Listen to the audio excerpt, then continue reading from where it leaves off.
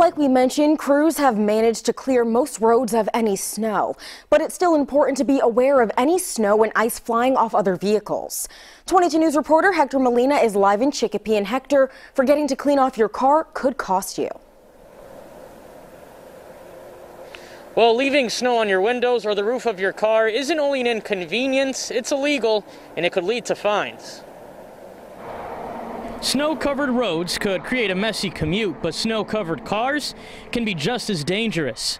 Any snow left on top of vehicles could fly off and cause accidents for others. Sometimes big trucks, all types of different cars, um, they don't, people don't really take that, that measure to ensure that everybody else is safe.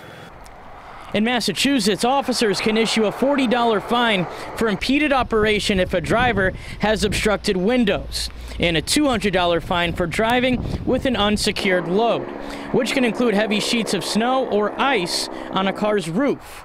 One of the dispatchers at Interstate Towing said their drivers aren't allowed to leave the lot without fully cleaning off their vehicle. Yes, we always make sure that all of our trucks are completely clean of snow and any vehicles that we're towing as well. This snowstorm has created a tough commute on the roads for many and have kept the tow trucks very busy. We've had drivers working almost 24 hours straight. Been helping a lot of people um, get out of the snow, basically, sometimes in their driveways, sometimes uh, on the highway.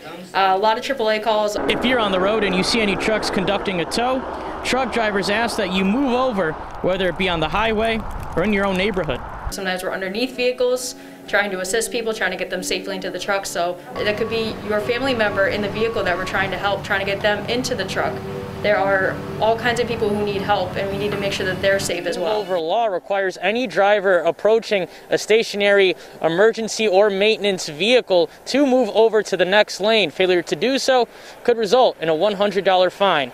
Working for you tonight in Chicopee, Hector Molina, 22 News.